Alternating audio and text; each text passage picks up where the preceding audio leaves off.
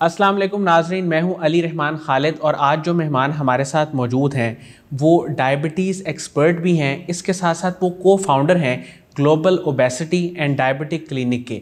हम इनसे जानेंगे कि डायबिटीज़ का एक ऐसा ट्रीटमेंट जो अब तक बहुत सारे लोगों को नहीं पता, जो जिस पे ये अमल भी कर रहे हैं, जो एक मिनिमल ऑपरेशन होता है। और ऑपरेशन भी इसके लिए शायद बड़ा दुरुस्त नहीं है, क्योंकि ये एक लेज़र ट्रीटमेंट होता है, जिसके ज़रिए शुगर जो है वो मुकम्मल तौर पर ख़त्म हो जाती है। बेसिकली ये एक इनोवेटिव और क्रिएटिव वे है, जिसको यूज़ करके टाइप टू डायबिटीज़ को ठीक किया जा सकता है। हम इनसे जानेंगे कि ये काम इन्होंने कब और कैसे शुरू किया और अभी ये इसमें क्या क्या मज़ीद जो है वो चेंजेस लेके आ रहे हैं और किस तरह इसको इनोवेट भी कर रहे हैं और प्रमोट भी कर रहे हैं। अस्सलाम वालेकुम डॉक्टर मोहम्मद मोहसिन गिलानी साहब कैसे हैं आप? ठीक हैं? जी वालेकुम अस्सलाम। जी अली क्या हाल है आपका? ठीक है? अल्हम्दुलिल्लाह। सर मुझे ये बताइएगा कि global obesity and diabetic clinic ये एक थोड़ा यूनिक नेम भी है अपने नाम के साथ साथ और इसमें आप बहुत सारी बीमारियों का इलाज भी कर रहे हैं।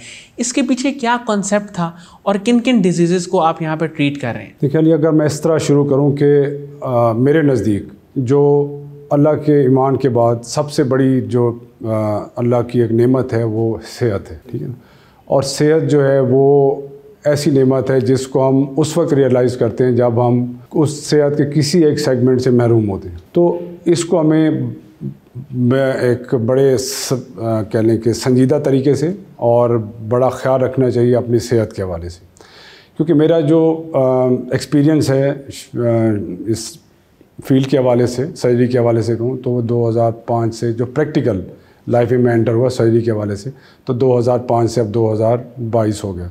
तो 17 इयर्स का मेरा एक्सपीरियंस है practically in the field of surgery ठीक है?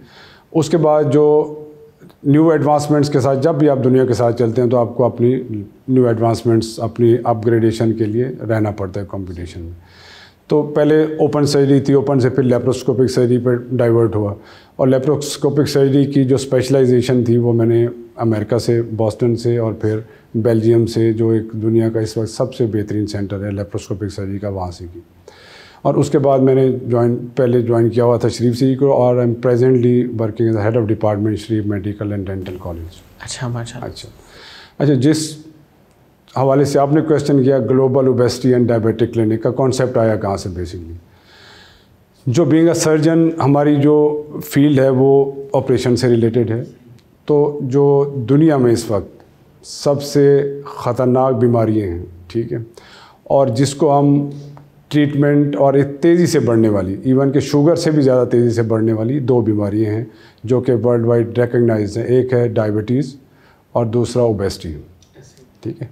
जो डब्ल्यू एच ओ की, ये सुन के आप हैरान होंगे कि डब्ल्यू एच ओ की जो रिसेंट एक ऑब्जर्वेशन थी पाकिस्तान के हवाले से तो जो डायबिटिक्स का नंबर दो हज़ार सत्ताईस में एक्सपेक्ट कर रहे थे डब्ल्यू एच ओ वो आप ट्वेंटी में, हम we have achieve that number of diabetic patients in Pakistan.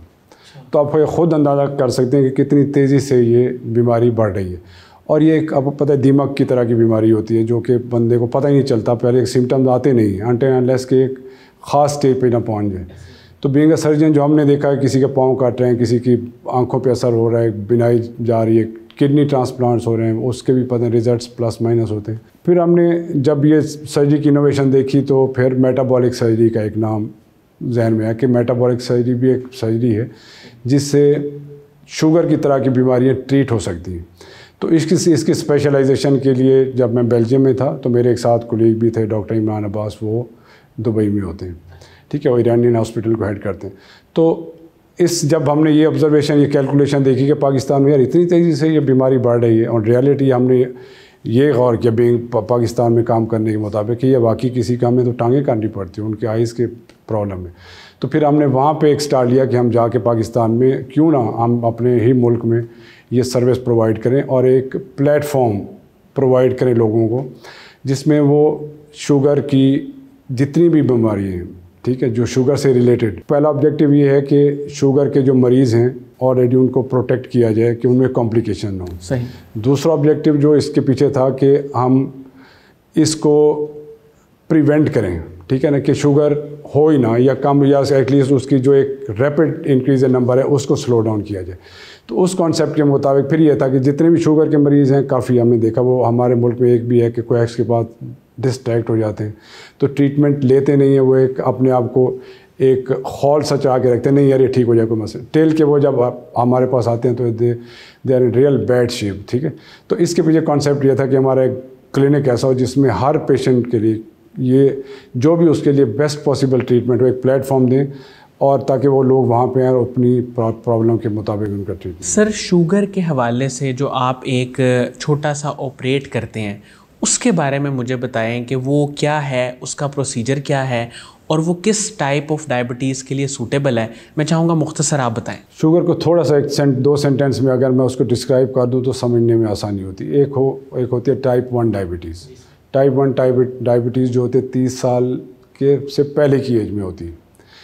और उसमें पेनक्रियाज या लोबलुबा आम अल्फाज में जिसको कहते हैं, वो लोबलुबा पेन इंसुलिन नहीं बना रहा होता। पैदाइशी तौर पे उसमें रूटीन में जीन्स में आता है और वो इंसुलिन नहीं बना रहा होता। एक होती है type two diabetes type two diabetes अमूमन तीस साल की उम्र के बाद होती है पेशेंट्स को। उसमें इंसुलिन पेनक्रियाज बना रहा होता है लेकिन इंसुलिन सेल्स के अंदर जाके काम नहीं कर पाती और शुगर को अंदर नहीं भेज सकती सेल्स के अंदर। इसको टाइप टू डायबिटीज़ कहते हैं। तो टाइप टू डायबिटीज़ को अगर हम ट्रीट ना करें तो जो लोब लोबे के सेल्स हैं, उसके ऊपर बर्डन पड़ता है जिस तरह घोड़ा उसको भगाई जाए रेस्ट ना दें तो अल्टीमेटली थक के गिर पड़ेगा। तो जब इंसुलिन को प्रोड्यूस प्रोडक्शन को बढ़ा के एक मैक्सिमम एक लेवल तक काम जब पेनक्रियाज करते हैं, उसके बाद उसके सेल्स वीक होना शुरू हो जाते हैं। और अल्टीमेटली टाइप टू जो होती है, वो टाइप वन की शक्ल अख्तियार कर लेती है कि उसमें वो इंसुलिन बनाने की प्रोडक्ट के कैपेबिलिटी रहती नहीं है। तो अगर हम उस टाइप टू डायबिटीज़ को उस स्टेज पे पहुँचने से पहले ट्रीट कर लें तो ये शुगर ठीक हो जाती है, क्योंकि लोबलुबा तो काम कर है। अगर हम उस इंसुलिन रेजिस्टेंस को कम कर दें, ठीक है, और इंसुलिन सेल्स के अंदर जाना शुरू हो जाए तो पेनक्रियाज का तो पहले काम नहीं तो वो उसके जो सेल्स वीक होते हैं, वो दोबारा से फंक्शनल होना शुरू हो जाते हैं।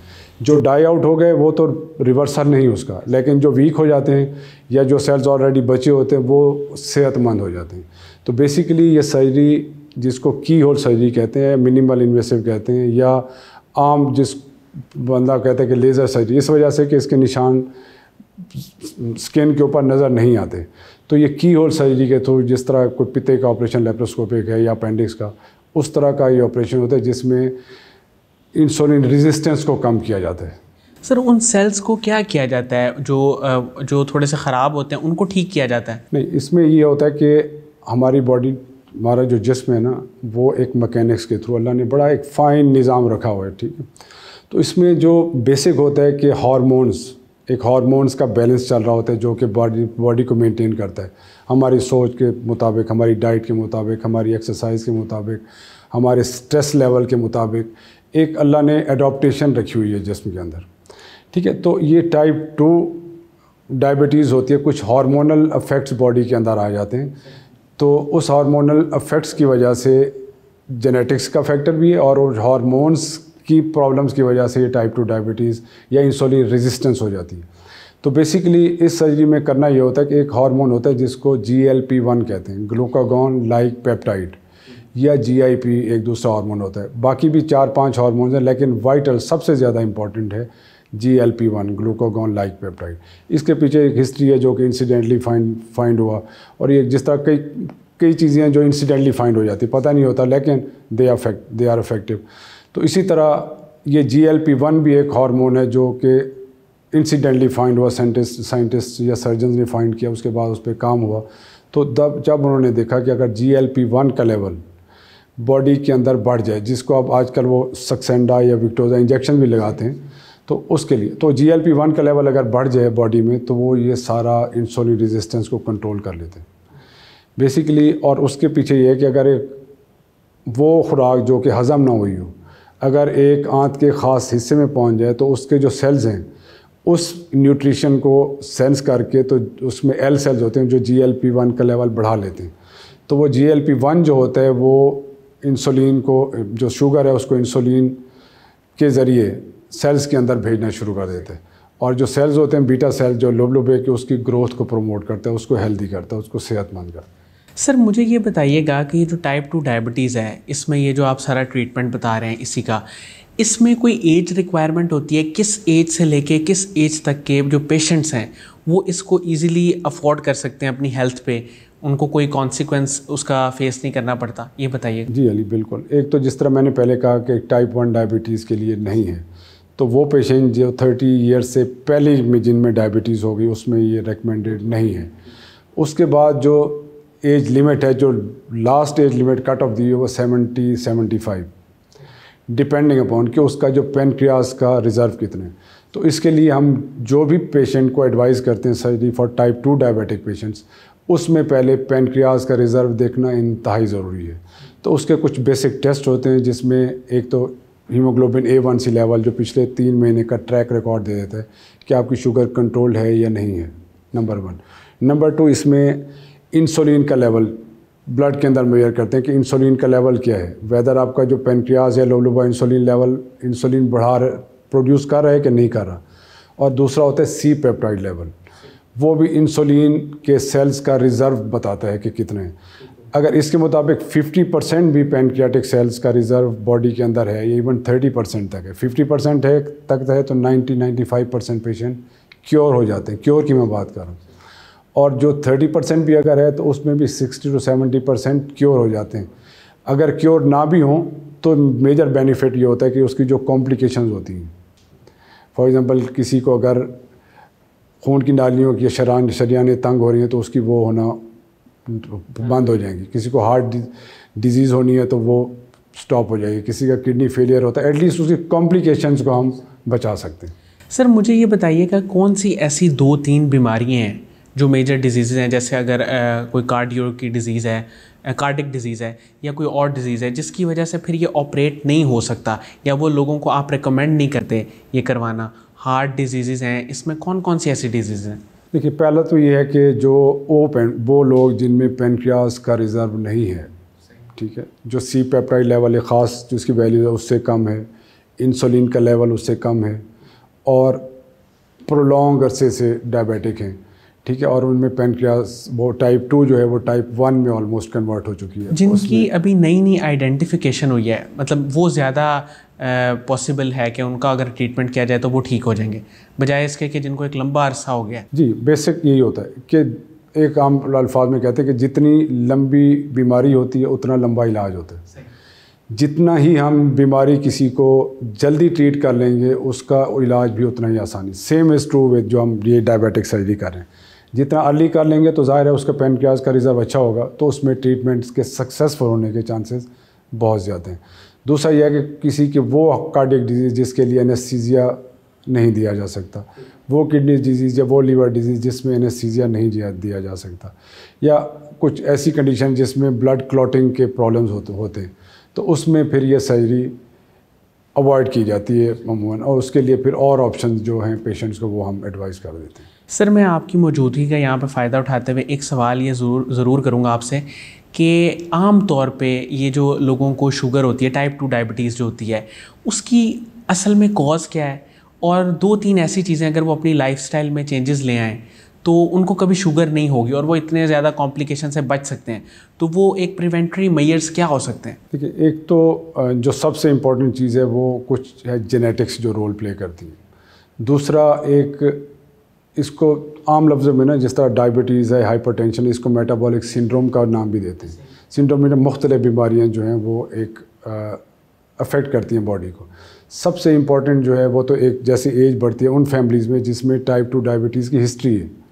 तो उनको जब ये ख़ास thirty thirty forty years cross करें तो उसमें वो कॉन्शियस हो जाना चाहिए उनको वो टेस्ट करवा लें अपने। डाइट के हवाले डाइट के हवाले से सबसे देखें कुछ चीज़ें जो बेसिक्स अगर हम बेसिक्स को फॉलो करें ना तो हम काफ़ी प्रॉब्लम से बच जाते हैं। बेसिक्स क्या हैं? कि आपने अपनी एक्सरसाइज डेली अपनी हैबिट रूटीन बना लें।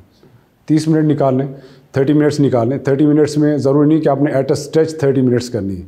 अगर आप को दस मिनट हैं, पंद्रह मिनट हैं, दस मिनट, पंद्रह मिनट कर लें उस टाइम पे, फिर दस पंद्रह मिनट निकालें। तो main objective is to keep you healthy exercise daily most of the days आपने thirty to forty minutes exercise करनी है। दूसरा ये है कि जो डाइट डाइट का बहुत इंपॉर्टेंट रोल है, ठीक है ना? डाइट में हमारी क्या होती है, ज़्यादा गोश्त खा लिया। फास्ट फ़ूड का आजकल यहाँ पे भी ट्रेंड बहुत ज़्यादा है, वैसे अब यहाँ पे शिफ्ट हो गए तो अगर हम मेडिटेरेनियन डाइट पे आ जाएँ, सब्ज़ी ज़्यादा लें, फल ज़्यादा लें, ठीक है? फाइबर डाइट ज़्यादा लें cold drinks fast food excessive meat ये बेसिक चीज़ें, इसको अवॉइड कर लें सिंपल चीज़ें को बड़ा मुश्किल काम नहीं है। तीसरा है कि स्ट्रेस टेंशन स्ट्रेस जो है, वो एक नेचुरल फिनमिना आता है स्ट्रेस को लेकर हम उसको मिनिमाइज़ कर सकते हैं। ठीक है? तीसरा यह कि अपनी जो नींद है सोना उसको आप एडिक्वेट स्लीप जो है पाँच से छः घंटे आठ घंटे एक नॉर्मल जब अच्छा इसका भी इफ़ेक्ट होता है। बहुत इफ़ेक्ट है। हम्म। क्योंकि आपकी अगर स्लीप डिस्टर्ब है पूरा हार्मोनल जो शिफ्ट चेंज हो जाता है टोटल आपकी इम्यूनिटी कम हो जाती है। अच्छा सर, नींद की अगर हम बात करें तो ये आठ घंटे कंटिन्यूस स्लीप ज़रूरी है? या अगर कोई शख्स दोपहर में एक दो घंटे सो जाता है या आधा घंटा सो जाता है, उसके बाद रात को वो पाँच घंटे या साढ़े चार घंटे सोता है, वो भी मुनासिब है? देखिए, सबसे आइडियल तो ये है, वो कहते हैं नींद का इंतज़ार न करिए, नींद आए थकी हो तो फिर सोएँगे, ठीक है ना? अगर आपने एक अपना सिस्टम डेवलप किया हुआ है, जिस टाइम पर आपने सोना है early to bed early to rise वाला कॉन्सेप्ट जो है अनफॉर्चुनेटली वो अब बहुत कम हो गया। लेकिन अगर आप प्रॉपर टाइम पे छः घंटे की नींद या चार की, पाँच घंटे की नींद at least five to six hours sound sleep लेते हैं तो उसमें आप खुद आप महसूस करेंगे आपकी बॉडी रिवाइटलाइज हो जाती है। ठीक है? तो नींद का डेफिनेट एक रेस्ट पीरियड जो है वो बहुत ज़रूरी है। अगर आठ घंटे नहीं भी मिलते तो at least five to six hours sleep का जो ड्यूरेशन है that is must sir Qasim Ali Shah sahab के आपने लेक्चर सुने हैं? और उनकी फाउंडेशन का भी एक काम है, कई प्रोजेक्ट्स हैं। उनके काम को और उनकी फाउंडेशन को आप कैसे देखते हैं? देखिए, जो कासिम अली शाह साहब है ना, वो इंस्पिरेशन है बेसिकली मैं उनका लेक्चर भी सुनता हूँ। Is an excellent person motivational speeches एक, कुछ चीज़ें होती हैं जो असर करती हैं। असर बात उस इंसान की करती है जो प्रैक्टिकली ख़ुद उस पर अपने ऊपर अप्लाई करता है। ठीक है ना? और आइडेंटिफाई करते हैं कि क्या क्या प्रॉब्लम्स हैं within the society within the community या अपने अंदर। सबसे इंपॉर्टेंट चीज़ होती है कि आपने अगर अपने आप की कमज़ोरी या वीकनेसेस आइडेंटिफाई कर ली ना तो आप काफ़ी चीज़ें तो जहाँ तक कासिम अली शाह साहब की स्पीचेस का है तो वो हर हर जो एक इंपॉर्टेंट आस्पेक्ट है, उसको फोकस करके तो उसको एड्रेस करते हैं।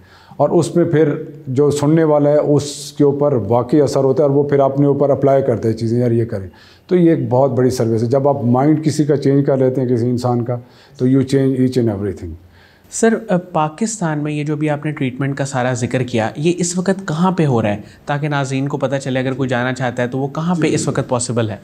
अब यह कि अली जो सर्जरीज जो हमने पिछले तीन महीने से हम स्टार्ट किए थ्री पॉइंट फाइव मंथ्स तो इसमें तकरीबन हमने 52 केसेस किए जिसके पास हमारे कंप्लीट रिकॉर्ड है पेशेंट्स का। उसके कॉन्टैक्ट नंबर भी हैं, उनके एड्रेसेस भी हैं, उनका फॉलोअप भी है। ये ऑपरेशन हम शरीफ मेडिकल एंड डेंटल को शरीफ मेडिकल सिटी हॉस्पिटल में कर रहे हैं। क्योंकि ऐसी सर्जरीज जो वो एक इंस्टीट्यूशन में हो सकती हैं। ठीक है? जहाँ पे आप एक प्रॉपर सेटअप और पेशेंट की प्री ऑप है उसके पेशेंट के ऑपरेशन के दरमियान है फिर पोस्ट ऑपरेटिव केयर है। ये आम सर्जरी की तरह नहीं इसके लिए सारी एक सेटअप है तो बहुत अच्छा सेटअप है वहाँ पे हम ये कर रहे हैं। तो दूसरे आस्पेक्ट जो पेशेंट सर्जरी के लिए फिट नहीं है या जो सर्जरी करवा नहीं सकते या करवाना नहीं चाह रहे तो एटलीस्ट उसके लिए हमने global obesity and diabetic clinic जो गोलबर्ग थ्री में है वहाँ पे स्टार्ट मेडिकेशन से आप ट्रीट करते हैं? मेडिसन भी है और डिफरेंट डिवाइसेस भी हैं। ठीक है ना देर अब दुनिया बहुत ट्रांजिशन में बड़ी तेज़ी से ट्रांजिशन हो रहा है दुनिया का ना। तो हर वो इनोवेशन हो रही हैं जो कि किसी भी चीज़ के लिए, हर फ़ील्ड में। इसी तरह हेल्थ की फ़ील्ड में और ख़ास तौर पे सर्जरी की फ़ील्ड में। हमारी इमेजिनेशन से भी बहुत ज़्यादा रैपिड इनोवेशन हैं। तो वो हम वहाँ पे वो चीज़ें ला रहे हैं इंस्टॉल कर दी हैं। कुछ कर दिए हैं कुछ अभी अंडर प्रोसेस हैं, जो कि बेस्ट पॉसिबल ट्रीटमेंट ऑप्शन है दुनिया के किसी भी कोने में। तो हम वहाँ पे हम ऑफ़र करेंगे, कर रहे हैं। Thank you so much doctor Mohammad Mohsin Gilani sahab. आपका बहुत शुक्रिया, आप तशरीफ़ लाए। नाजिन मुझे उम्मीद है कि जो लोग एक वो स्पेशल ट्रीटमेंट के बारे में जानना चाहते हैं शुगर के हवाले से और अपनी ज़िंदगी में कौन सी ऐसी माइनर आप चेंजेस अगर ले आएँ तो आप शुगर जैसी बीमारी से और कई और बीमारियों से भी बच सकते हैं। इस बारे में इस इंटरव्यू में बड़ी खसूसी गुफ्तु हुई। अपना बहुत ही ख्याल रखिएगा। इन दोबारा हाज़िर होंगे एक नए इंटरव्यू के साथ। अल्लाह हाफ़